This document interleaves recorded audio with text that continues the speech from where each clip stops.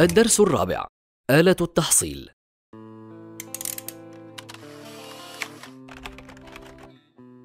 قارئ كروت ممغنطة.